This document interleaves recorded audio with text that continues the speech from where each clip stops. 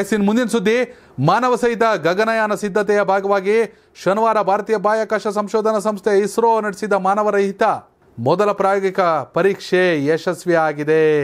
ಮಾನವ ಸಹಿತ ಮೊದಲ ಪ್ರಾಯೋಗಿಕ ಪರೀಕ್ಷಾ ಪರಿಷ್ಕಾರ ವಾಹನ ಯಶಸ್ವಿಯಾಗಿ ಉಡಾವಣೆಯಾಗಿದೆ.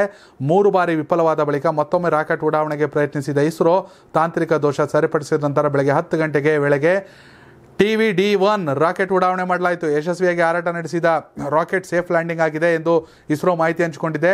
ಇದು ಬೆಳಗ್ಗೆ ಎಂಟು ನಲವತ್ತೈದು ಗಂಟೆಗೆ ಮಾನವರಹಿತ ಪರೀಕ್ಷಾರ್ಥ ವಾಹನ ಉಡಾವಣೆಗೆ ಇಸ್ರೋ ಸಜ್ಜಾಗಿತ್ತು. ಅದಕ್ಕೂ ಮುನ್ನ ಎಂಟು ಮೂವತ್ತಕ್ಕೆ ಉಡ್ಡಯನಕ್ಕೆ ಇಸ್ರೋ ಸಮಯ ನಿಗದಿಪಡಿಸಿತ್ತು. ಆದರೆ ಹವಾಮಾನ ವೈಪರೀತ್ಯದಿಂದ ಸಮಯ ಬದಲಾವಣೆ ಮಾಡಲಾಗಿತ್ತು. ಕೊನೆ ಕ್ಷಣದಲ್ಲಿ ಇಂಜಿನ್ನಲ್ಲಿ ತಾಂತ್ರಿಕ ದೋಷ ಕಾಣಿಸಿಕೊಂಡಿದ್ದರಿಂದ ಕೆಲ ಕಾಲ ಸ್ಥಗಿತಗೊಳಿಸಲಾಗಿತ್ತು. ತಾಂತ್ರಿಕ ದೋಷ ಸರಿಪಡಿಸಿದ ಬಳಿಕ ಯಶಸ್ವಿಯಾಗಿ ಪರೀಕ್ಷಾರ್ಥ ಹಾರಾಟಕ್ಕೆ ರಾಕೆಟ್ ಉಡಾವಣೆ ಮಾಡಲಾಯಿತು. ಈ ಪರೀಕ್ಷೆಗೆ ಟಿವಿ ಡಿ ಒನ್ ಎಂದು ಹೆಸರಿಡಲಾಗಿದೆ. ಇಂಥ ಉದ್ದೇಶಿತ ಮೂರು ಪರೀಕ್ಷೆಗಳಲ್ಲಿ ಇದು ಮೊದಲನೆಯದಾಗಿದೆ. ಆಂಧ್ರಪ್ರದೇಶದ ಶ್ರೀಹರಿಕೋಟದಲ್ಲಿರುವ ಸತೀಶ್ ಧವನ್ ಬಾಹ್ಯಾಕಾಶ ಕೇಂದ್ರದಿಂದ ಏಕ ಹಂತದ ರಾಕೆಟ್ ಟಿವಿ ಡಿ ನಭಕ್ಕೆ ಚಿಮ್ಮಿದ್ದು ಪ್ರಾಯೋಗಿಕ ಪರೀಕ್ಷೆ ಯಶಸ್ಸು ಕಂಡಿದೆ.